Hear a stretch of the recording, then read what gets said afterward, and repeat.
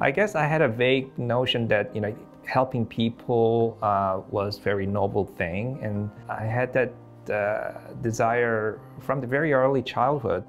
Family is very important. I think that that defines who you are. Me and my wife went through uh, infertility issues, so um, that we ended up getting uh, uh, help from uh, reproductive endocrinologists like myself. So in fact, my uh, daughter, first child, is a product of a fertility treatment, and I became very interested in the whole process.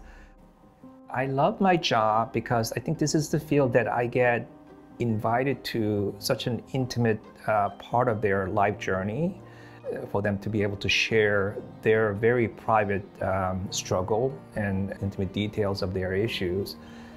If they struggle, um, if they they feel pain, that is my pain as well. In many cases, I was able to be a part of the success story, and it gives me such a, a great feeling of uh, uh, achievement and satisfaction. There are some uh, high-strung patients, and they wouldn't let go of their stress. And I, I asked them, please, you know, you came here expecting my help and service. Please let that be my problem.